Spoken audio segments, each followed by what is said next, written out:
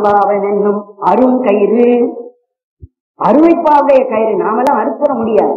அறுக்க முடியாத செயல் அவன் அறுத்தாதான் அவன் அறுத்து விட்டாதான் அறுத்தாங்க தவிர நாம அறுத்து ஓட முடியாது. அருங்கயிற்றால் கட்டி அதன் பிறகு மேல ஒரு தோல் போட்டு வேற மூடிட்டார் புறம் தோல் போட்டு புறம் வெளியிடும் தோல் இந்த மேலே இருக்கிற தோல் என்று சொல்லுகிற ஒன்றை மூடி. இயங்கும் புழுவழித்து இந்த தோலுக்கு உள்ள என்ன வச்சிருக்கிறார்? குழாய் என்று சொல்கிற அழுத்த உள்ள வச்சு மேல தோலை போட்டு இந்த தோல் இல்லைன்னா நாட்டம் இருக்கும் உள்ள இருக்கிற பகல் அழிவு நாட்டம் இருக்கும் நீ வரும் எறும்பு வரும் எல்லாம் வரும். இந்த தெரியாம இருக்கிறதுக்கு தான் மேல ஒரு தோல் போட்டு இந்த கமலை ரொம்ப அழகா சொல்லுவோம் நம்முடைய வேதம் மட்டும் இந்த தோல் மேல இருக்கிறது தோல்ல ஒரு வீட்டு எப்போ எவ்வளவு வெளிச்சான் அந்த மாதிரி வெளிச்சான ஒரு ரெட்டை எடுத்துட்டா போதும் ஈஸ்வர ஒரு அண்ணதோ தோல் அறிவு வேண்டுமே காக்கை தருவதோ தோல் நம்ம உடம்புல இருந்து ஒரு இனியின் தோல் அளவு இனியின் ரெண்டு அளவுக்கு வெளிச்சாம போல எடுத்து வச்சு நம்ம உடம்புல உட்கார்ந்து சொன்னா காக்கா வந்து நம்ம கொட்ட காக்கா வந்து கையில குத்தி வச்சுட்டு தான் உட்கார்ந்துருக்கீங்க. அப்படிப்பட்ட கேரளமான உடம்பு என்று அவனன் சொல்ல நாயகியாக வருகிறார் அப்ப உள்ள அடிப்பிற்கு அடிக்கு தெரியாம இருக்கிறார் நேரத்தோடு போட்டு கொடுத்தார். புறம் போட்டு எங்கும் புவி அடித்து தூண்டாவது அடித்தாகிய மாம்சங்களையும் மலமூத்தனங்களையும் உள்ளே வைத்து மலன் சேரும் ஒன்பது வாயில் குடியில் ஒரு வீடு கொடுத்தார். குடி என்றால் அந்த குடிசைக்கு ஒன்பது வாசல் இருக்கு. வெளிச்சம் வீடு இருக்கிறாங்க வெளிச்சம் வராங்க வாசல்களுக்கு என்ன இல்லாம இருந்தா புண்ணிய வேண்டியது அதுக்காக என்ன பண்ணிட்டான் கடவுள் ஒன்பது வாசல் வச்சிருக்கார் அந்த வீட்டுக்குள்ள நம்மையும் போட்டான். ஆனா நம்ம வீட்டுக்குள்ளேயே வெளியில ஓடி வர முடியுமான்னு முடியாது ஒன்பது வாசல் இருக்கு. ஒன்பது வாசல்ல ஏதாவது ஒரு வாசல் வழியா நான் வெளியில போயிடுவோம்னா போக முடியாது அதுதான் அவன் சொல்லியிருக்கிற ஒரு பெரிய ஆச்சரியகரமான ஒரு பெயர் மலஞ்சோறும் ஒன்பது ஆயிரம் குடி குடிலை குடித்தலை. ஐ இரண்டாயிரத்தி ஒரு குடி குடிக்க ஒன்பது வாசல். அது என்ன? அந்த ஒன்பது வாசல் வழியா வீட்டுல இருக்கக்கூடிய அழுக்கு வெளியேறுது வாசல் நாம வெளியில போறதுக்கு வைக்கலாம்? நம்ம உடம்புக்குள்ள இருக்கிற அழுக்கு வெளியில போறதுக்கு. அதான் மலம் சோறும் ஒன்பது வாய். அழுக்கை வெளியிடுகின்ற ஒன்பது வாசல் ரெண்டு கண். கண்ணு வழியா பூவை என்ற அழுக்கு. ரெண்டு காது காதல குருவி என்று அழுக்கிறது ரெண்டு மனம் ரெண்டு மூக்கு துவா சளி என்ற ஒரு அழுக்கு ரெண்டு மூக்கு வழியா வருது ஆ. வா. இதுல கோடை அல்லது எச்சு என்று சொல்லும்படியான ஒரு அரிசுவை இந்த ஏழல் இதை தவிர நூற்றம்பதும் மரம் போவதுமாகிய எரிவாய் தருவார் எரு என்பது மலம் கொடுக்கிறவர் கரு என்பது உற்பத்தி பண்ணுகிறவர். ஜீவன்களை உற்பத்தி பண்ணுகிற ஆணா இருந்தாலும் பெண்ணா இருந்தாலும் ரெண்டுமே உற்பத்திக்கு காரணமாக இருக்கிற ஒரு வழி. அதனால இது ஆணுக்குரியா பெண்குரியா என்று எருவாய் என்று கருவாய் என்ற பிரிக்கப்படாது ரெண்டும் ஒண்ணுதான். ஆகவே இந்த இதையும் அந்த மூத்திரம் என்பதும் நம் மனம் என்பதும் ஆகிய அழிப்பு வெளியிடும் ஆக ஒன்பது துவாரமும் ஒன்பது அழிப்புகள் வெளியிட்டுக் கொண்டிருக்கிற வாயில் ஒன்பது வாயில் மலம் தோறும் ஒன்பது வாயில் குடிலை. அந்த குடிசை மலர்ந்த புலனெங்கும் வஞ்சனையை செய்ய அந்த குடிசைக்குள்ள குடி போடல அந்த குடிசைக்குள்ள அஞ்சு பேரை எனக்கு எதிரியா நிறுத்தி வைத்திருக்கிறார். எனக்கு உதவிக்குன்னு நீ அஞ்சு பேர் அனுப்பின. அதாவது மெய் வாய் கண் மூக்கு செவி. வெளியில வாசனை அடிச்சா என்ன வாசனைன்னு அறிந்து சொல்றதுக்கு மூக்குங்கிற கருவி வெளியில சத்தம் கேட்டா என்ன சத்தம் என்று தெரிந்து கொள்ள காதென்ற கருவி வெளியில என்ன நடக்கிறதுங்கிறத பார்த்து தெரிஞ்சு கொள்வதற்கு கண். ஏதாவது ஒரு பொருள் சூடா குளிர்ச்சியா வடவெழுப்பா சொர சொரப்பா இருக்கான கையால் தொட்டு பார்க்கிறவங்க வாயில போட்டு ருச்சி பார்க்கிறது. இந்த அஞ்சு விதமான கருவியும் எனக்கு நீ கொடுத்திருக்கிற. ஆனா இந்த அஞ்சு பேரும் என்ன கெட்ட வழியில இருக்கிறார்கள் அதைத்தான் சொல்றார் மலங்க புலன் ஐந்து. புலன் ஐந்து. அறிகருவிகள். அறிந்து கொள் புலன்னா அறிந்து கொள்வது. அறிந்து கொள்ளுகிற கருவி ஐந்து அது மலங்க. எனக்கு எதிர்மாறாக போக. நான் நல்ல வழிக்கு போகாமல் என்னை கெட்ட வழிக்கு இழுத்து போகிற அந்த புலன்கள் புலனைந்தும் வஞ்சனையை செய்ய. எனக்கு இடையூட எதிரான காரியங்களை அவைகள் செய்து கொண்டிருக்க. விலங்கு மனத்தால் நான் எப்படிப்பட்ட மனம் இப்ப எனக்கு இருக்கு? எனக்கு நீ ஒரு குடும்பம் ஒரு குடிசை கொடுத்த. குடிசையில ஒன்பது வாசல். மனம் ஒழுகுது எனக்கு அஞ்சு பேர் உதவி கொடுத்த. அஞ்சு பேரும் கற்ற வழியில இருக்கிறான் எனக்காவது அறிவு இருக்கா? அஞ்ஞானமா இருக்கிறேன். மனம் இருக்கேன் மனமாவது உன் பக்கம் வருதா? உன் பக்கம் வராம வேற ஒரு பக்கம் போகிற மனம். விலங்கு மனம். விலங்குதல் என்றால் வேறு பக்கம் போகிற மனம். சில பேர் விலங்கு என்பதற்கு மிருகம் போன்ற மனம் என்று உரைகிறார் திருப்பராய்த்துறை உரையில அப்படி அப்படிதான் எழுதுறார் அவர். விலங்கு என்பது மிருகம். மிருகத்தின் மனம் போல கொடிய மனம் என்று அவர் எழுதுகிறார் அப்படி இல்லை. இந்த இடத்துல மனம் என்பது இறைவனிடத்துல பக்தி மார்க்கத்துக்கு போகாமல் உலக பிரவர்த்தியில போகுது. போக்குவாய் என்ன புழுவிப்பாய் சொன்ன பாருங்க. போக்குவாய் உலக பிரவர்த்தியிலே செலுத்துவாயோ? அல்லது உன் தொழும்பில் புழுவிப்பாய் உன் ஈஸ்வர நாட்டத்திலே பக்தி நாட்டத்திலே என்னை புழுவிப்பாயோ என்று சொன்னாரே. அது மாதிரி என் மனம் பக்தி நாட்டத்துக்கு போகாம உலக பிரவர்த்தியிலே விளங்கி இருக்கிறவன். விலங்கு மனத்தால் அப்படிப்பட்ட இந்த மனத்தினாலே இவ்வளவு கேவலமான நிலையில நான் உன்னை நினைக்கணும்னா எப்படியா நினைக்க முடியும்? அவர் கேட்கிறார் ரொம்ப நல்லா அழகா கேட்கிறார். நம்மால கூட காண்டவனே உன்னை நான் நினைக்க முடியலையே. ஏன் நினைக்க முடியலன்னா எனக்கு கொடுத்திருக்கிற இத்தனை கருவிகளும் வினக்கே இடையூறாயிருக்கிற போது உன்னை நான் எப்படி நினைக்க முடியும் என்பதற்கு சான்றா இவ்வளவு விஷயம் பேசுறேன். விமலா நீ எப்படிப்பட்டவன்? இது மாதிரி கொஞ்சம் கூட சங்கடமே இல்லாதவன். நான் அத்தனை மலம் அத்தனை அழுக்கோடு இருக்கிறேன். நீ மலமே இல்லாத இடத்துல இருக்க. இந்த குடிசைக்குள்ள நான் இருக்கிறேன் எனக்குள்ள நீ இருக்கிற அப்ப உன்னை ஒட்டுமா இந்த அழுக்குன்னா ஒன்ன ஒட்டாது நீ தூய விமலனாய் விமலா உனக்கு கலந்த அன்பாகி கசிந்து உள் உருகும் நலந்தான் இல்லாத குடியேன் இவ்வளவு நிலை இருப்பதனாலே உன்னிடத்திலே நான் கலந்த அன்புடையவனாக அன்பு கலந்தவனாக நடந்து கொள்ள முடியவில்லை. அந்த அன்பினாலே கசிந்து உருகத் தெரியவில்லை. நலம் என்னிடத்தில் இல்லை. ஆகவே கலந்த அன்பாகிய அளந்து அன்பு கலந்தவனாய் கசிந்து அன்பாலே உருகினவனாய் உள்ளுருகும் உள்ளத்திலே நிகழ்கிறவனாய் வருகிற நலம் அந்த உயர்ந்த பக்தி பக்தி நலம். இத்தனையும் வந்துட்டா என்ன அர்த்தம்? உள்ள முருகன்ற நிலை வந்தா பக்தி நலம் இல்லாத செய்யேன் கொஞ்சம் கூட பக்தி நெறி இல்லாத பத்தி பக்தி நெறி அறியாத பக்தி நெறி அறியாத முற்கொள்ளும் முயல்வேனை பக்தி நெறி அறிவித்து அப்போ இதுல இருந்து என பக்தி நெறி இல்ல.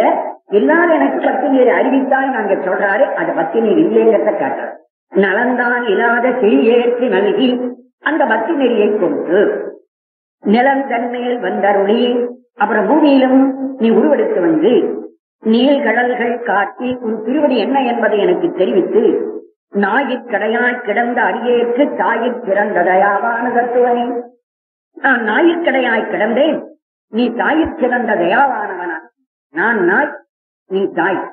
நான் நாய் மட்டுமல்ல நாயிலும் கீழான நாய். நீ தாய் மட்டுமல்ல தாயில உயர்ந்த நாய். அவர் எப்படி கொண்டு போறார் பாரு. தன்னை நாய் என்றும் இறைவனை தாய் என்று மட்டும் சொல்லல.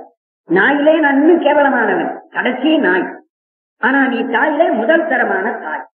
நாயில் கடையாய். நாய்களில் கடைத்தரமான நாய். அது என்ன நாயிலே ரெண்டு விதம் இருக்கு? அப்படின்னா நாய் என்பது மிக கேவலமான ஒரு விலங்கு. ஆனா அது இடத்துல ஒரே ஒரு நல்ல குணம் இருக்கு. எஜமான விஸ்வாசம் தன்னை சோறு போட்டு வளர்த்துட்டான் அவனுக்கு உயிரின் கொடுத்தான் வீட்டுல வாசல்ல காவலா இருந்து அவனுக்கு ஆபத்து வரும்போது அவனை காப்பாற்றும் எஜமான விசுவாசம் உடையது. நன்றி அறிதல் உடையது. நாயிடத்தில் இருக்கக்கூடிய ஒரே ஒரு உயர்ந்த குணம் விசுவாசம் அல்லது நன்றி அறிதல். ஆனால் இன்னொரு நாய் இருக்க. நாயிற்கடை. அது மனித வடிவத்தில் இருக்கு. அந்த மனிதனா இருக்கிறான். அவனுக்கு இந்த நன்றி விசுவாசம் இல்லை. அவன் தான் யார்? இருக்கிறேன். நான் அப்படி இருக்கிறேன். நான் நாய் ரூபத்தில் இல்லை. ஆனா என்னிடத்துல அந்த நாய்க்கு விசுவாசம் இருக்கு. ஏற்ற விசுவாசம் இல்லை? நாய் எஜமான விசுவாசம் இருக்கிறது. நாய் தனக்கு சோறு ஓட்டவனை மறக்கல. ஆனால் எனக்கு ஆண்டவனாகிய நீ என்ன கொடுத்திருக்கிற? தனி கரண புவன போகம் நான் கொடுத்திருக்க உடம்பு கொடுத்தா தனு என்ற உடம்பு இதனால் நீ வச்சு உலகத்துல சுற்றி வா. சுகத்தை அனுபவி இடம் வீடு வாசல் என்ற இடம் கொடுத்த புவனம். கரணம் கை கால் உள்ளிருக்கிற அந்த கரணங்களை கொடுத்த போகம். அனுபவிக்க வேண்டிய பொருள் அத்தனையும் கொடுத்த இத்தனையும் கொடுத்த என் எஜமானத்தை நான் விசுவாசம் வைக்கணுமா இல்லையா? அதை நான் வைக்கலையே. நாய் சோறு போன்றவனத்துல விசுவாசம் வச்சிருக்கேன்.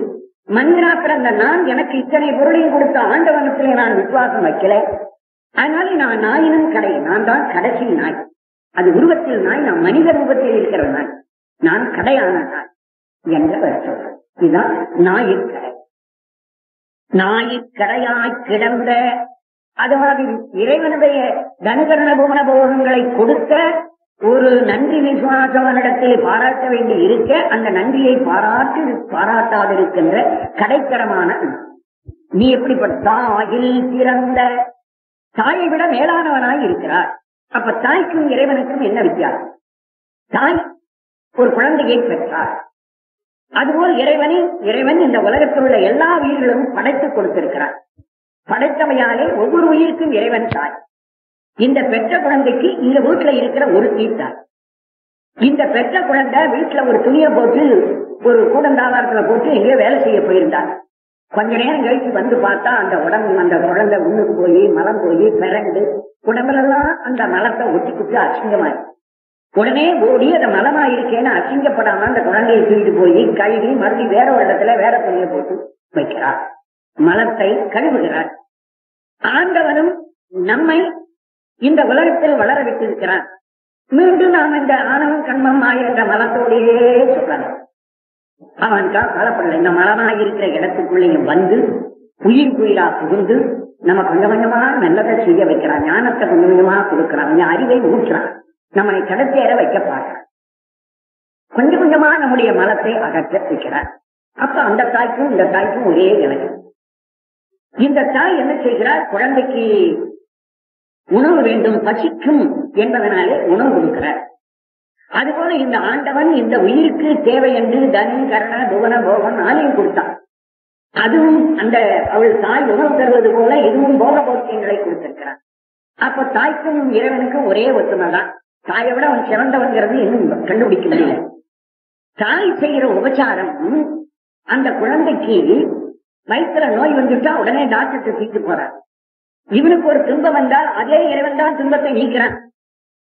துன்பத்தை கொடுக்கிறவன் அவன் துன்பத்தை நீக்கிறவன் அவன் தான் திருநாகரசு வயற்கையை கொடுத்துட்டு நீக்கிறவன் திருநா அந்த இறைவன் தான் ஆனால் அந்த தாய் அந்த குழந்தைக்கு உடம்பு அளவில் தான் உதவுகிறாள்.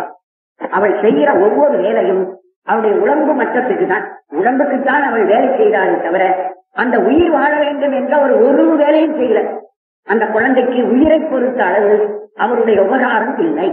ஆண்டவன் இந்த உயிரை இவ்வளவு உபகாரம் பண்ணி இருக்கிறது எதுக்காக? இந்த உடம்புக்கு அல்ல.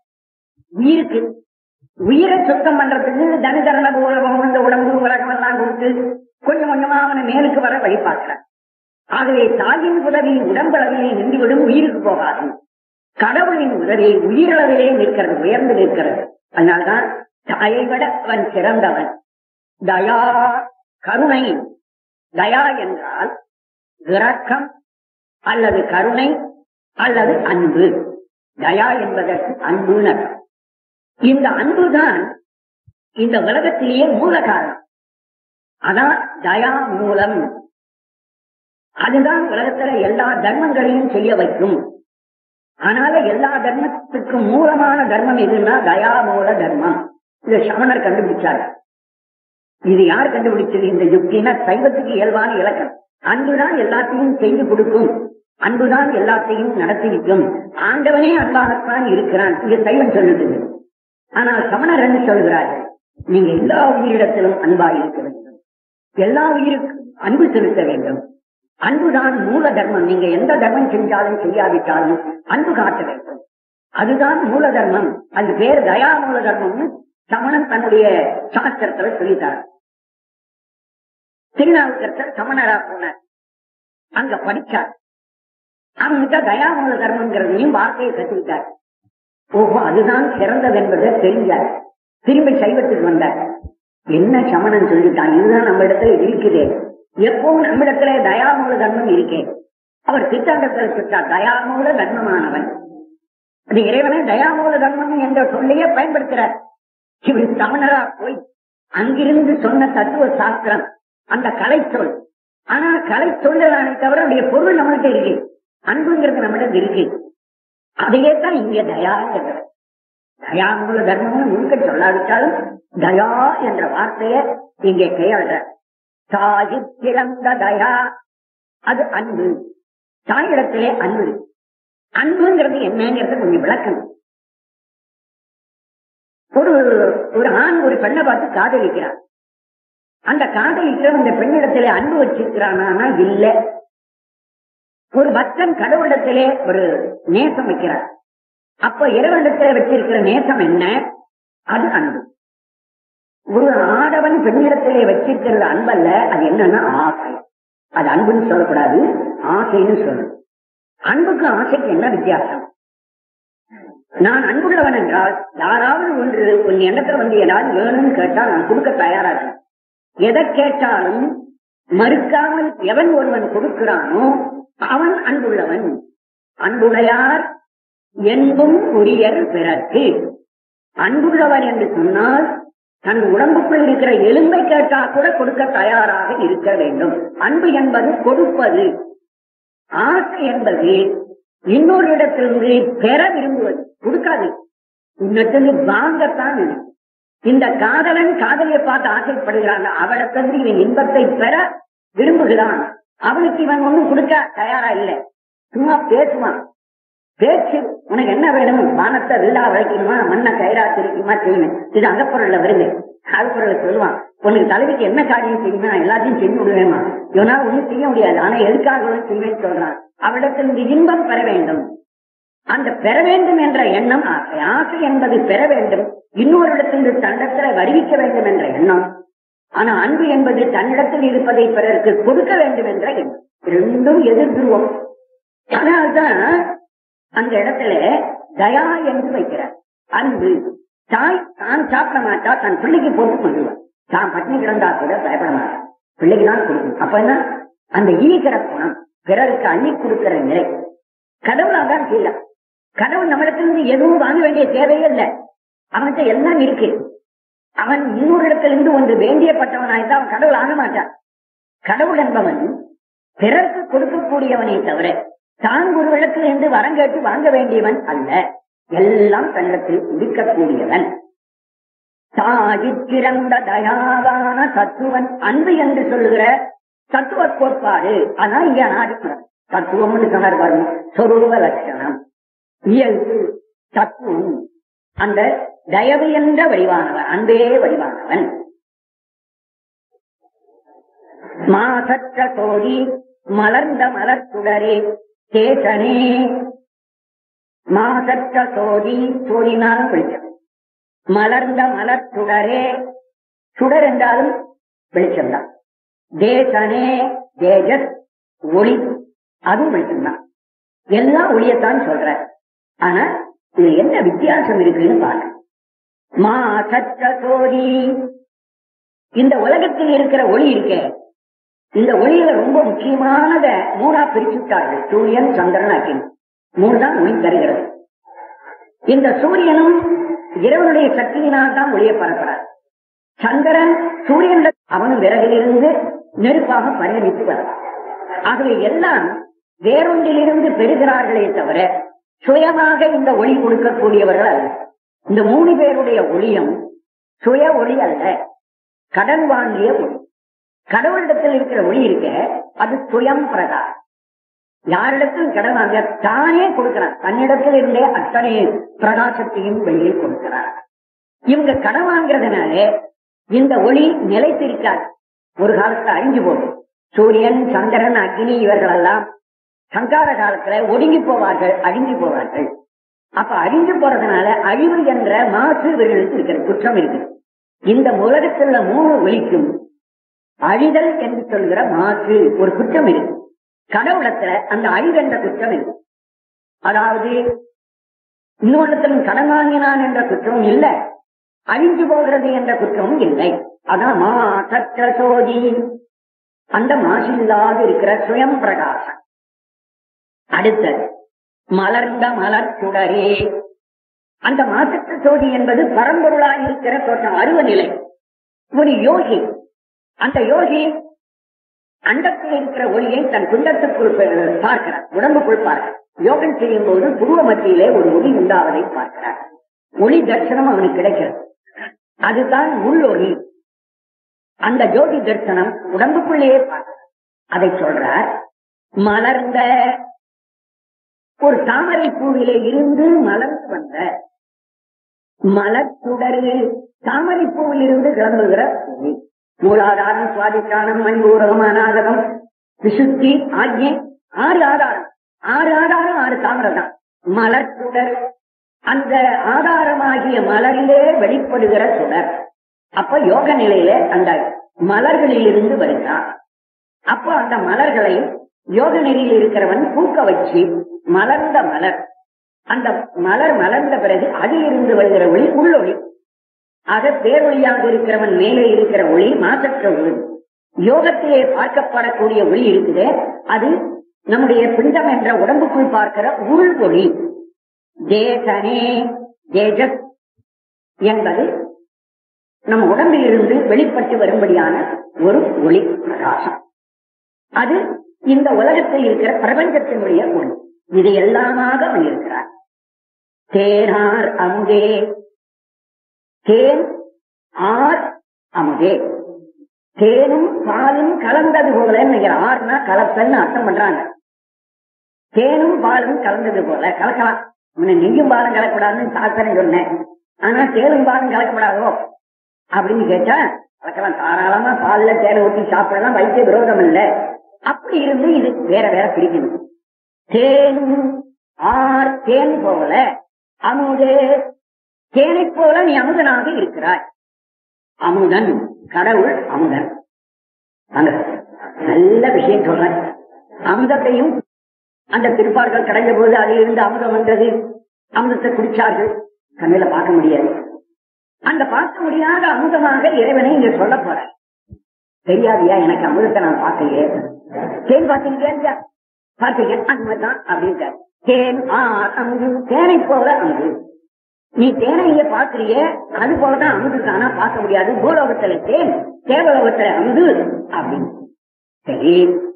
இந்த தேன் என்ன செய்யும்? சாப்பிட்டா வியாதியை நீக்கும். செத்து போறவங்க சாதாம காப்பாத்தி கொடுத்துரும். அதுவும் அமிர்தமும் சாக்காடு இல்லாம கொடுக்கும். அது போல இந்த தேனை போல அதுவும் இருக்கிறது என்று சொல்றார்.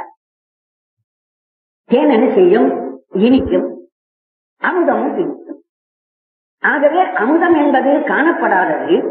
காணப்படாத அமுதத்தை காணப்பட்ட நமக்கு தெரிந்த ஒரு பொருளினாலே ஓமை காட்டி விளக்கிறார் தேன் தேனை ஆறு இது தேவலோகத்தில் இருக்கிற அமுதை சொன்னோம். இனி தேவர் உலகத்தில் இருக்கிற அமுது கூட இல்ல அதற்கு மேற்பட்ட அமுது அது. தேவலோகத்தில் இருக்கிற அமுது கூட திருப்பாற்கடல் என்று சொல்லுகிற அதுவும் பிரபஞ்சத்தில் இருந்து விளைந்த ஒரு பொருள். ஆனால் இறைவனாகிய அமுதம் இருக்கிறதே இறைவன் என்று சொல்கிற அமுதம் அதற்கும் மேற்பட்டது. சற்று சித்து ஆனந்தத்திலே ஆனந்தமாகிய அதைத்தான் இங்கே அமுதுன்னு சொல்ற அந்த இறைவனுடைய திருவடியில் இருந்து பெறக்கூடிய பேரானந்தம் அதை அமுதுங்கிற. அந்த அமுது எப்படி இருக்கும்னு கேட்டவனுக்கு விளக்கம் நம்ம உலகத்துல தேன் அது மாதிரிதான். தேன் சித்திக்கும் தேன் நீண்ட ஆயுத தேன் நல்லதை சொல்லும் இனிக்கும் அது போல பேரானதும் தெரியாததை தெரிந்த பொருள் கொண்டு விளக்குவதற்கு தேனாரம்புனாங்க தேனும் பாலும் கலந்தது போல இறைவன் சித்திப்பான் என்ற சாதாரண விஷயத்தை சொல்வதற்காக அது வரவில்லை. தேனாரமுதே ஆகவே இவருக்கு இறைவனை அந்த பேரின்பத்தை அனுபவிச்சார். அமுது அமுது என்றால் உணவுன்னு ஒரு பொருள். சாப்பிடுறது இருக்க அது சோற கூட அமுதுன்னு சொல்லும் அதுபோல இறைவனிடத்தில் இருக்கிற இன்பத்தை இந்த ஆத்மா போய் சாப்பிட போகுது அது அனுபவிக்கிறது. அதுதான் அதுக்கு உணவு. இங்க வீட்டுல இருக்கிற அமுது இருக்க கொஞ்சம் சாப்பிட்ட உடனே போதும் தகட்டி விடும். இந்த அமுதெல்லாம் ஆர் அமுது. ஆறு அமுதுன்னா திகற்ற அமுது. இறைவன் இருக்கிற அமுது இருக்க அது எத்தனை தடவை அந்த இன்பத்தை அனுபவிச்சாலும் திகட்டவே திகட்டாது ஆறா அமுது.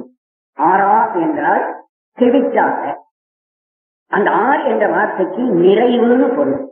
சாதம் போட்டா வயிறு நிரம்பி விட்டா நிறைஞ்சு விட்டு போதும் என்று சொல்கிற வார்த்தை வரும்.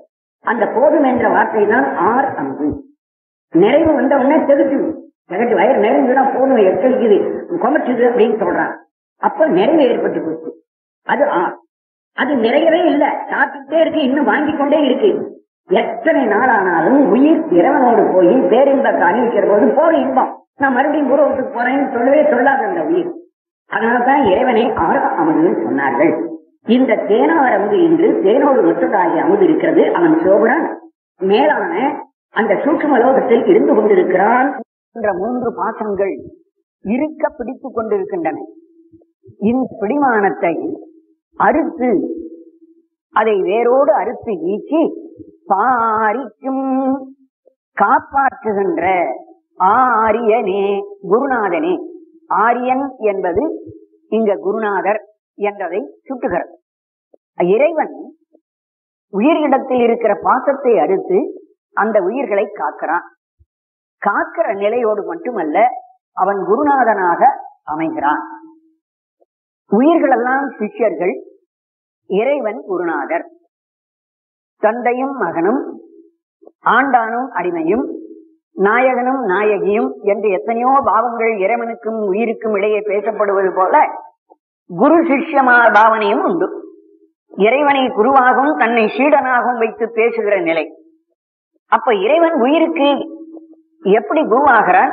உயிர் எப்படி சீடனாகிறது என்று கேட்டால் சீடன் அறியாதவன் விவரம் தெரியாதவன் குரு எல்லாம் தெரிந்தவன்.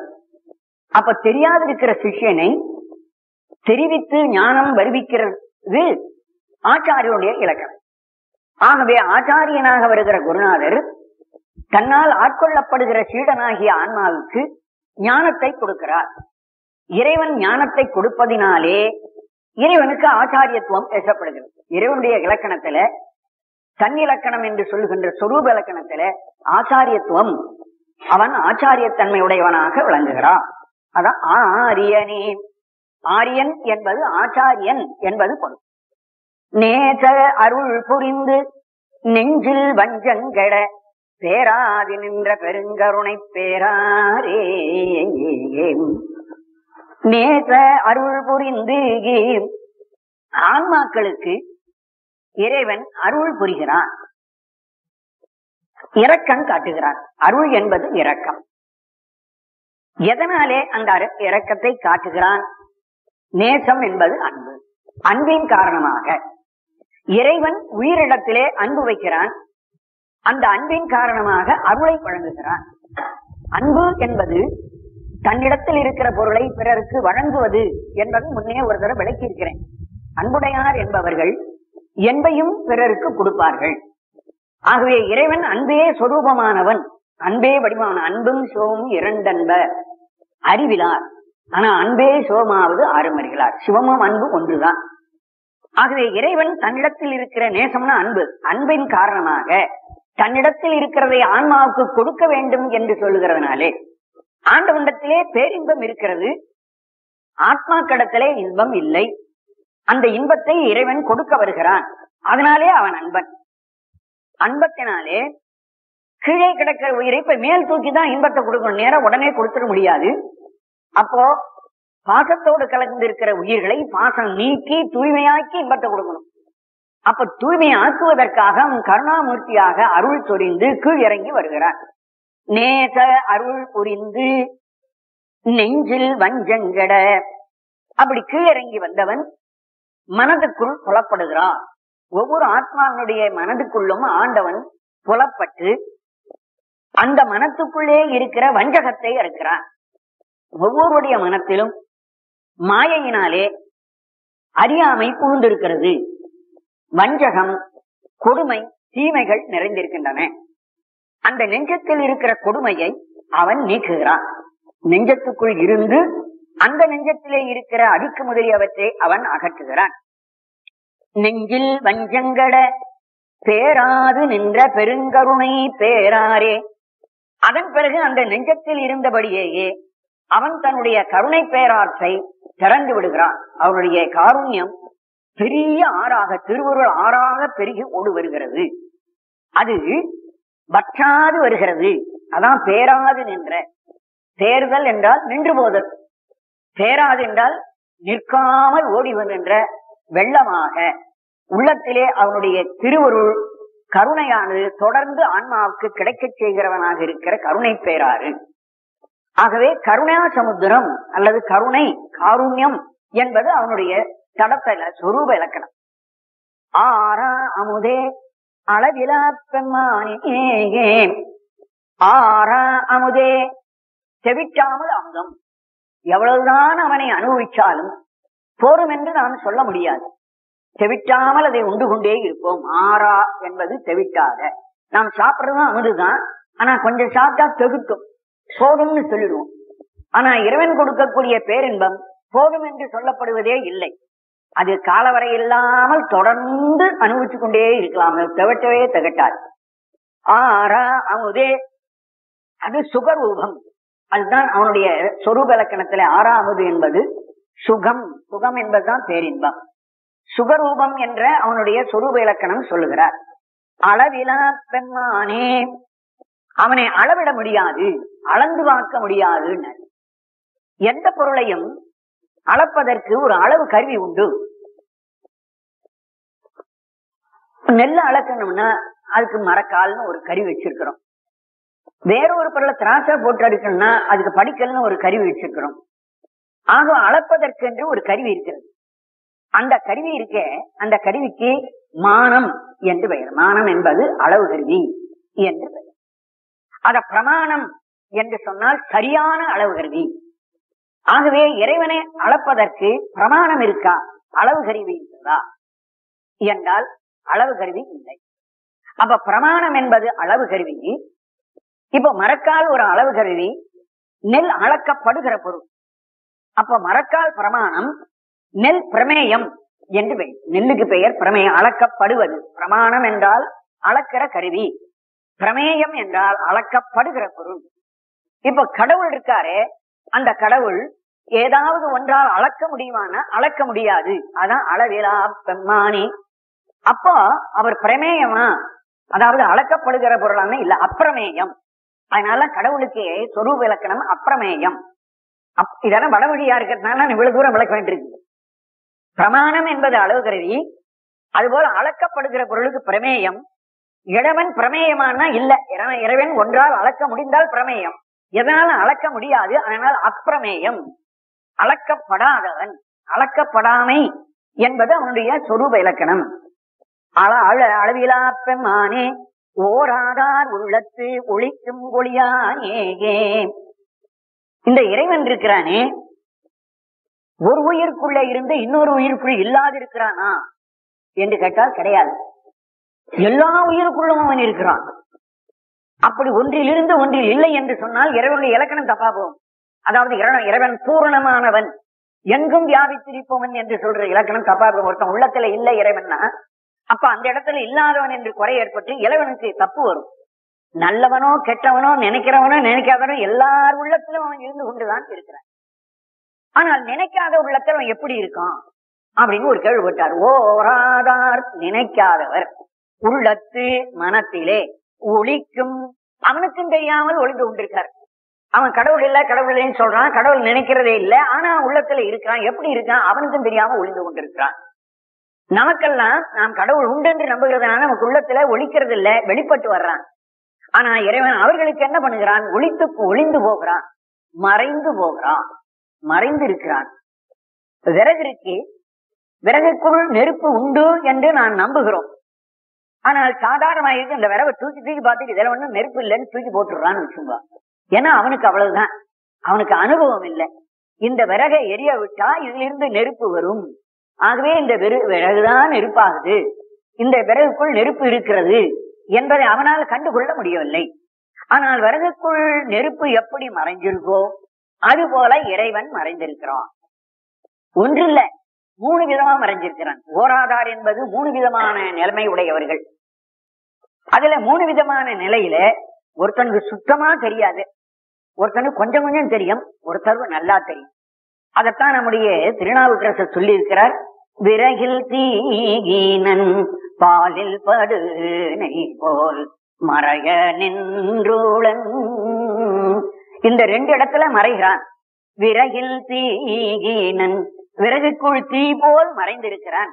பாலில் படு போல் பாலுக்குள்ளே நெய் இருப்பது போல மறை மறைந்திருக்கிறான்.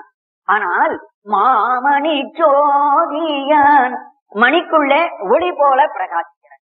ஓராதவராகிய ரெண்டு பேருக்கு உள்ளத்திலே. இனி மணியை பூமியிலிருந்து வெட்டி எடுக்கிறோம். வெட்டி எடுக்கும் போது மேல பார்த்தா அழுக்கு இருக்கும் உள்ளே மாணிக்கம் இருக்கிறது ரத்தனம் இருக்குன்னு சாதாரண ஆளுக்கு தெரியாது.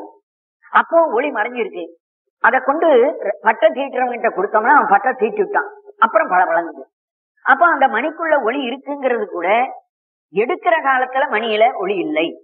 பட்டை சீட்டப்படி வரும். அவ மூணு விதமான பக்குவர்கள்.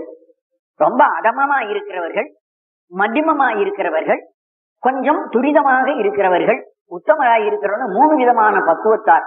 மூணு பேருக்குமே மறைந்திருந்து வெளிப்படுகிறான். அதை இங்கே சொல்றார். ஓராதார் உள்ளத்து ஒழிக்கும் உணராத ஒரு உள்ளத்திலே ஒளிக்கும் மறைந்திருந்து பிறகு அவருக்கு பக்குவம் வருகிற காலத்திலே ஒளியானே ஒளியாக வெளிப்படுகிறவன். விறகாயிருக்கிற போது நெரு நெருப்பு தெரியல. விறகை எரிய விட்ட பக்குவம் வந்த பிறகு விறகுக்குள் இருக்க நெருப்பு வருது. அதுபோல் நம் உள்ளத்திலே ஓராமை இருந்த காலத்திலே ஒளிந்திருந்தான். ஒளிந்திருந்தவன் பக்குவம் வந்த போது ஒளி பிரகாசமாக வருகிறான். ஒளிக்கும் அந்த இடத்துல ஒளித்தல் என்பது மறைதல். ஒளியானே பிரகாசமானவன் ஒளிந்திருந்து பிறகு பிரகாசமாக வருகிறவன். ஆகவே ஒளிங்கிறது தான் அவனுடைய சொரூப இலக்கணம். அதாவது ஜோதி சுரூபம் என்பது நீராய் உருக்கி என்னார் உயிராய் நின்றானே? உருக்குகிறவன் உருக்குதல் என்பது நெகிழ்ந்து போதல். கல்லா இருக்கிற போது கெட்டியா இருக்கு. அது வெண்ணைய தொட்டு பார்த்தோன்னா அந்த மாதிரி க- கல்லு போல கெட்டியா இல்ல குள குழங்குது. அதுவே சூடாக்குன அப்படியே எண்ணெயா உருகி ஓடுது. அப்ப உள்ளம் என்பது பாறை. அந்த பாறை வெண்ணெய் போல நெகிழ்ந்து பிறகு அந்த வெண்ணெயிலிருந்து உருகி வருகிற நெய் போல உருகி ஓடும். தண்ணி மாதிரி உருகி ஓடும். படிக்கட்டியா இருந்து பிறகு தண்ணியா உருகி ஓடுவது போல நெஞ்சத்தை அவன் உருக வைக்கிறான். தண்ணீராக உருக வைத்து விடுகிறான். என்று சொல்லுகிறார் நீராய் உருக்கி தண்ணீராக என் நெஞ்சத்தை உருகச் செய்து என் ஆர் உயிராய் நின்றானே. என் உள்ளத்துக்குள் பொருந்திய உயிராக உயிருக்குள் உயிராக நின்றவன். நம்முடைய உடம்பு உடம்புக்குள் உயிர் உயிருக்குள் உயிர் உயிர். உயிருக்குள் உயிராயிருப்பது இறைவனுடைய சொரூப இலக்கணம். அது பரமாத்மன் என்று சொல்ல நம்முடைய உயிருக்கு ஆத்மன்.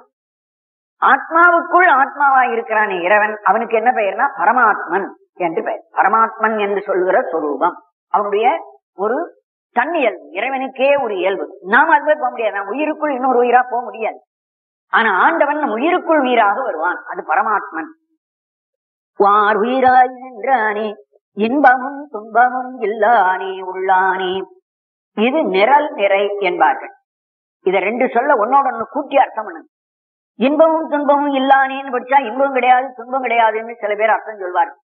இறைவனுக்கு ஒன்றை சுவிக்கிற போது அவன் மகிழ்கிறவன் இல்ல. ஒன்றை அனுபவிக்கிற போது கஷ்டப்படுகிறவன் அல்ல. ரெண்டுமே இல்லைன்னு அர்த்தம் சொல்லுவார்கள். அது இறைவனுக்கு பொருந்தும். ஆனால் உள்ளானேன்னு இருக்க? அப்ப இன்பமும் உள்ளவன் துன்பம் உள்ளவன் வரும். முதல் ரெண்டு வரியில இன்பமும் துன்பமும் இல்லானேங்கிற வரலவனா நமக்கு சரியா வரும். உள்ளானேங்கிறதுல வரும்போது தடுமாறும். அதுக்காக இதை இப்படி படிக்கக்கூடாது இப்ப எப்படி அர்த்தம் பண்ணணும்னா இன்பமும் உள்ளானே துன்பமும் இல்லானே இன்பம் என்பது அவனிடத்தில் இருக்கிறது. நாம் போய் பெறுவதற்காக. ஆன்மாவாகிய நமக்காக வச்சிருக்கான் அவன் அந்த இன்பத்தை சுகிப்பதில்லை. ஆண்டவனிடத்துல இன்பம் என்ற ஒரு பொருள் இருக்கு. அந்த இன்பத்தை அவன் அனுபவிக்கிறது கிடையாது. அந்த இன்பத்தை நமக்காக அவன் வைத்திருக்கிறான். ஆக நம்பொருட்டு அவன் இன்பத்தை உடையவனாக இருக்கிறான். இன்பம் உள்ளானி. இன்பத்தை உடையவன். அதனால்தான் ஞானசம்பந்தர் சொன்னார் நன்றோடையானை. நன்று உடையவன் இன்பத்தை உடைத்தாயிருக்கிறான். இன்பத்தை அனுபவிக்கிறவன் சொல்ல இன்பத்தை பெற்று இருக்கிறான் எதுக்கு? நமக்கு கொடுக்கறதுக்காக வச்சிருக்கான் தயாரா. அதே சமயத்துல அந்த இறைவன் என்ன இல்ல? தீயதீலானை. நன்று உடையான் தீயது இளான் தீமை வண்டத்துல கிடையாது. யாருக்கும் தீங்கு செய்ய மாட்டான். எல்லாருக்கும் நல்லதுதான் செய்வான். கடவுள் செய்வது அத்தனையும் நன்மையே. ஏன் கடவுள் நன்மைங்கிறீங்க? யமனை உதைச்சார் முப்புறத்தை அழித்தார். இப்படி எல்லாம் சொல்ற மன்மதன் நெற்றிக்கண்ணால் சுட்டரித்தார். அப்படிலாம் புராணம் படிக்கிறோமே அப்ப இறைவன் தீங்கு செய்யவில்லையா? அப்படின்னு கேட்டா இல்லைங்கிறான். அதெல்லாம் நம்முடைய சாஸ்திரப்படி என்ன சொல்வார்கள்? அது கெட்டவர்களை திருத்துதற்காக செய்த தண்டனை. மறுபடியும் அவனை வாழ்விக்குள்ளானே துன்பமும் இல்லானே இன்பம் உள்ளான் என்பது நன்றுடையானே என்று சொன்ன நன்றுடைமை. துன்பம் இல்லானே துன்பம் இல்லான் என்பதற்கு தீயதிலான் தீயதின்மை என்று சொல்லுகிற சொரூப இலக்கணம். அன்பருக்கு அன்பனே. அவன் அன்பன். அன்பருக்கு அன்பன். அப்ப அன்பர் இல்லாதவருக்கு அன்பில்லாதவன் ஏகம். ரொம்ப சிரமமான வார்த்தைகள் இதெல்லாம். தர்க்க ரீதியா போகும்போது ஒண்ணுக்கு ரொம்ப பிரமாதமா இருக்கும். நம்ம இறைவனிடத்துல அன்பு வச்சா நம்ம இடத்துல கடவுள் அன்பானம் ஏத்துக்கிறார்னு சொல்லும்போது இனிக்கும். இதே வார்த்தையை ஒருத்தர் பிறக்கிறார் அன்பாராகி இருக்கிற உங்களுக்கு இறைவன் நல்லவன் அன்பில்லாத இன்னொருத்தருக்கான அவனுக்கு கெட்டவனா? அப்படின்னு கேட்டா அவனுக்கு கெட்டவன் கிடையாது. எல்லாருக்கும் கடவுள் பொது. ஒரே நீதியா ஒரே நியாயம்தான் செய்யறவன் அப்படியான ஏன் அன்பருக்கு இருக்கன்பனே என்று சொன்னார்னா அன்பரா நெருங்குகின்ற போது அவனும் அன்புடையவனாக வந்து இன்னும் சீக்கிரம் நம்மளை இழுத்து கொண்டு போக பாக்குறான் தீயவனாயிரத்துல அவன் கொஞ்சம் தாமசமா வர்றான் அவ்வளவுதான். தீயவனை விட்டுறது கிடையாது. தீயவனையும் கடற்சேற்ற வேண்டும் என்பதுதான் இறைவனுடைய கருணை. சகல ஆன்மாக்களையும் நன்னெறிப்படுத்த வேண்டும் என்பது ஈஸ்வரனுடைய ஒரு சங்கல்பம். ஈஸ்வரனுடைய எண்ணம் என்ன? எல்லா ஆத்மாக்களையும் தூய்மைப்படுத்த வேண்டும். கெட்டவனையும் நல்லவனாக்க வேணுங்கிறதா கெட்டவனை விட்டுணுங்கிறது அவனுடைய எண்ணம் இல்லை. அன்பருக்கன்பன்கிறது கொஞ்சம் அன்பா வந்துட்டா அவர்களுக்கு சீக்கிரம் அவர்களை அற்றுக்கோடா அழைச்சுக்கிட்டு போகிறவன் என்பதுதான் பொருளை தவிர தீயவருக்கு கெடுதி செய்கிறவன் என்று இதிலிருந்து பரட்டக்கூடாது. அன்பருக்கு அன்பனே யாவையுமாய் அல்லையுமாம் இந்த உலகத்தில் இருக்கிற எல்லா பொருளுமாக நீ இருக்கிறாய் யாவையுமாய் எல்லா பொருளுமாக ஆகிறாய். ஆனால் அல்லையுமாம் அவற்றுக்கு அவை அல்லாதவையாயும் நீ இருக்கிறாய் என்று சொல்ற எல்லா பொருளும் அவன் இருக்கிறான் ஆனால் அவன் இருக்கிறானே தவிர அந்த பொருள் அல்ல. இப்ப தண்ணீருக்குள் இறைவன் இருக்கான்னா அவன் தண்ணீர் அல்ல. தண்ணீர் வேறு அவன் வேறு. கல்லுக்குள் இறைவன் இருக்கிறான்னா கல்லே அவன் அல்ல கல் வேறு அவன் வேறு. அதுபோல இந்த உலகத்தில் உள்ள சர்வ பொருள்களிலும் அவன் இருக்கிறான். ஆனால் அந்த பொருள் அல்ல அதற்கு அப்பால் பட்டவனாக அந்த பொருளுக்குள்ளேயே இருந்து இயக்குகிறான். அந்த பொருளை இயக்குகிறவனாக உள்ளே சக்தியாக இருக்கிறானே தவிர அந்த பொருளாகவும் இருப்பதில்லை. ஏன்னா அந்த பொருள் அடியும் ஆண்டவன் அடிய மாட்டான்.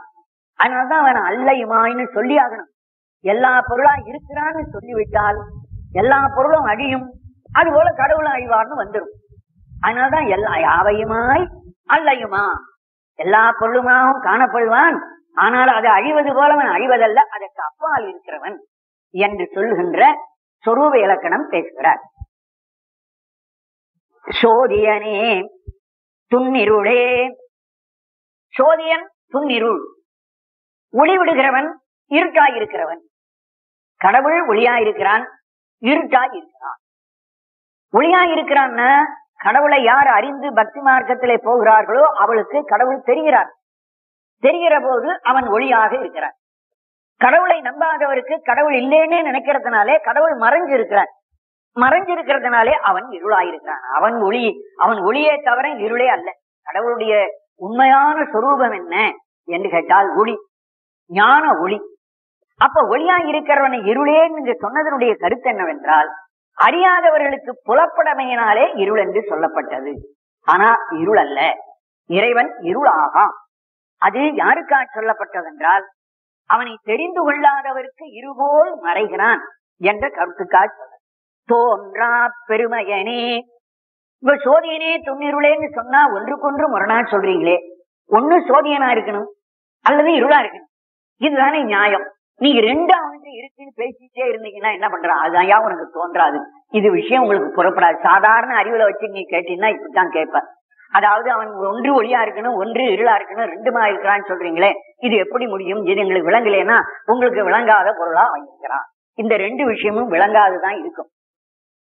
அதாவது ஒரு இருட்டுல ஒரு ஆண்டை வந்ததுன்னா அந்த ஆண்டைக்கு இருக்கிற பொருள் எல்லாம் கண்ணு தெரியும். அதே இருட்டுல பூனை வந்ததுன்னா அதுக்கு எல்லாம் தென்னு தெரியுது. ஆனா நாம் அந்த இருட்டுல வந்தா ஒண்ணு தெரியல. அப்போ ஆந்தைக்கு அந்த இடத்துல ஒளியா தான் இருக்கிறான். அந்த இடத்துல எல்லா பொருளும் காட்டக்கூடிய ஒளியா இருந்து எல்லா பொருளையும் அதுக்கு விளக்கி கொண்டிருக்கிறான். அது போல பூனை வந்தாலும் கண்ணுக்கு எல்லா பொருளும் தெரிவிக்கிற ஒளியா இருக்கிறான். நாம போனா தெரியாதவனா இருக்கிறான் மறைஞ்சிடுறான் இருளா இருக்கிறான் ஆகவே அவரவர் பக்குவத்துக்கு அவன் அப்படி காணப்படுறானே தவிர அவன் ஒளிதான். அவனுடைய ஒளி நம்முடைய பக்குவத்துக்கு இருட்டாயிருச்சு. இன்னொருத்தருடைய பக்- பக்குவத்துக்கு ஒளியாயிருச்சு. இதுதான் நாம் விளங்கிக் கொள்ளணும் இதை விளங்கலைன்னா இது இருளும் குழியுமா ஒரு பொருளே இருக்கிறான் என்று சொல்லுவது தோன்றா பொருளாக விளங்கிக் கொள்ள முடியாத பொருளாக ஆயிடும் என்பது அவர் விளக்கிறார். ஆதியனே அந்தம் நடுவாகி அல்லானே ஆதியனே எல்லா பொருளையும் தோன்றுவிக்கிற முதற் பொருளாய் இருக்கிறவன் பிரம்மன். ஆதி என்றால் தோற்றுவிக்கிறவன். எல்லா பொருளையும் உண்டாக்குகின்ற பிரம்மனாகிறான். ஆதியனே அந்தம் ஆகி நடுவாகி அந்த ஆகிங்கிறத ரெண்டுலையும் சேர்த்து கூட்டணும். அந்தமாகி முடிவாகிறவன் தோற்றுவிக்கிறவன் பிரம்மா எல்லா பொருளையும் முடிவிக்கிறவன் ருத்ரன். ருத்ரனாகவும் ஆகிறவன். ஆகி என்பது ஆகிறவன். அது பெயர் சொல். எப்படி சோதி ஆதியன் என்று பெயர் சொல்லார்கோ அதுபோல அங்கேயும் அந்தமாகி நடுவாகி என்ற ஆகினா ஆகிறவன் என்ற பொருள் அது பெயர் சொல்லாக அந்த இடத்துல வைக்கணும். நடுவாகி தோற்றுவிக்கிறவனும் அல்ல அழிக்கிறவனும் அல்ல நடுவில் இருக்கிறவன் அதாவது காப்பாற்றுகிறவன் திருமான் அந்- அஜ- ஆதியன் என்பதனாலே பிரம்மா அந்தமாகி என்பதனாலே ருத்ரன் அப்புறம் நடுவாகி என்று சொல்வதனாலே திருமால். அவன் மூன்றாய் இருக்கிறான் அவனே பிரம்மா அவனே விஷ்ணு அவனே ருத்ரன். இப்படி சொன்னோட மறுபடியும் மும்மூர்த்திகள் தானே அவன்? என்று நீங்க கேட்பீங்கன்னு சொல்லிதான் அல்லானே அதையும் கேட்டு கொண்டு வந்தார் இது மூன்றாயிருந்தும் இந்த மூன்றுக்கும் அப்பால் பட்டவன் உள்ளபடிக்கு அவனுடைய சொரூப இலக்கணம் என்னன்னா மூன்றுக்கும் அப்பால் பட்டவன் மூன்றாக இருக்கிறான். பிரம்மாவுக்குள் இருந்து படைக்க வைக்கிறான் திருமாவளுக்குள் இருந்து காக்க வைக்கிறான். அவர் ருத்ரனுக்குள் இருந்து அடிக்க வைக்கிறான். மூன்று பேரையும் அதிர்ச்சித்து அதாவது ஏவி அவர்களை ஏவுகிறான். பிரம்மாவை ஏவி உண்டாக்க வைக்கிறான். திருமாலை ஏவி காக்க வைக்கிறான். ருத்ரனை ஏவி அழிக்க வைக்கிறான். ஆக மூன்று பேருமாக அவர்களை ஏவுகிறதுனாலே அவரவர் சுரூபமாக வந்தாலும் ஆனால் அவற்றுக்கு அப்பாற்பட்ட மூன்று பேருக்கும் அப்பாற்பட்டவன். ஏன் மூணுக்கு அப்பால் சொன்னார்? மூணு பேரும் அழிந்து போவார்கள். ஆனால் அவன் அழிவதில்லை. முன்ன பாத்துங்க யாவையுமாய் அல்லையுமாய் ஒண்ணு பார்த்தோம் இல்லையா? யாவைனா மலையாய் கல்லாய் நீராய் மரமாய் எல்லா பொருளுமா இருக்கிறான்னா அப்ப எல்லாம் அழியும். ஆனா கடவுள் அழிக்க மாட்டான் அதுக்காகத்தான் அல்லாதது. அது போல இங்க ஆரியன் அண்டமாகி நடுவாகி என்ற மூன்று மு- மும்மூர்த்திகளா இருக்கிறான் சொல்லிட்டு மும்மூர்த்திக்கும் அப்பாற்பட்டவனாக அவன் இருக்கிறான். அல்லான் ஈர் தென்னையாட்கொண்ட எந்த பெருமானே? இப்படிப்பட்டவன் அந்த திருப்பெருந்துரைக்கு வந்து வலிய என்னை இழுத்தான். ஈர்த்துன்னா நான் வலிய இழுத்து ஆட்கொண்ட திருவடி சூட்டிய எந்த பெருமான் என் தந்தையை ஒப்ப ஒப்பானவனே? கூர்த்த மெஞ்ஞானத்தால் கொங்குணர்வார் தங்கருத்தி. நோக்கரிய நோக்கே. நோக்குனா அறிவு. நோக்கரிய நோக்கு அறிவால் அறிய முடியாத அறிவு. நோக்கு என்பது அறிவு. இறைவனே அறிவு ஞானம். எப்பேற்பட்ட நோக்கால் அறிய முடியாதுன்னா அதுக்கு முதல் வரி சொல்ற கூர்த்த மெஞ்ஞானத்தால். ரொம்ப கூர்மையான மெஞ்ஞானத்தை அறிந்தவர்களாலும் கூட மெஞ்ஞானம் என்பது தத்துவ ஞானங்கள். தத்துவ ஞானத்தை ஒருவர் நல்லா புரிஞ்சு வச்சிருக்கார். ஒரு சந்தேகம் கூட இல்லாமல் இருக்க. எல்லா சந்தேகமும் அற்றவராக இருக்கிற ஒரு பெரிய ஞானியால் கூட கூர்த்த மெஞ்ஞானத்தால் கொண்டு உணர்வார். அந்த பழுத்த ஞானத்தை கொண்டு உணர்கிறவர்களாலும் தங்கருத்தின் நோக்கரிய தம்முடைய மனத்தாலே நோக்க முடியாத நோக்கன் அறிய முடியாத அறிஞன். எப்பேற்பட்ட ஞானிகள் என்று சொல்லுகிறவர்கள் கூட அவனை அறிய முடியாது. அறிய முடியாதுன்னு என்ன அர்த்தம்னா முழுக்க அறிய முடியாது. கொஞ்சம் அறியலாம். அந்த அறிவனை இறைவனை பற்றி கொஞ்சம் கொஞ்சம் அவர்களுக்கு தெரியும். ஆனால் அவனை முழுக்க தெரியாது. முழுக்க தெரிஞ்சுட்டா அவன் இறைவன் அல்ல. ஆகவே அவனை முழுமையாக தெரிந்து கொள்ள முடியாது. எப்பேற்பட்ட பெரிய ஞானியா இருந்தாலும் அந்த ஞானியால் கூட இறைவனை ஒரு சிறிதுதான் அறிய முடியும் முழுமையாக அறிய முடியாது.